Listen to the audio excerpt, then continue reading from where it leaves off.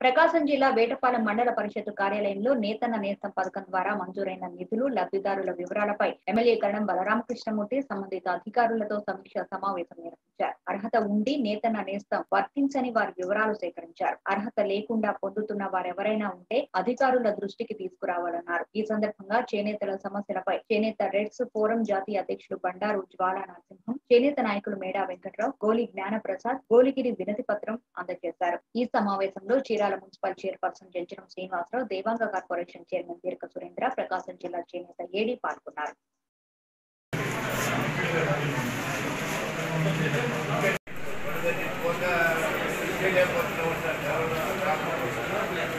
ఏదో